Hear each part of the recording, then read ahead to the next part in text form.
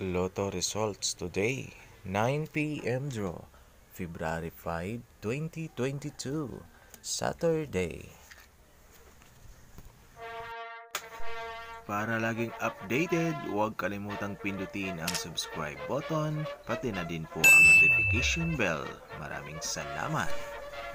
Lotto results today, 9 p.m. draw, February 5, 2022. Mga kaloto, magandang gabi. Shout out sa ating mga kaloto Luzon, Visayas at Mindanao. Sana po isa kayo sa mga maswerteng mananalo para po sa Grand Lotto 655, Lotto 642, 6D Lotto, 3D Lotto at 2D Lotto 9pm draw. Upang makita ang mga opisyal na resulta, pakiclick na lang po ng description box. To all winners, congratulations at magandang gabi.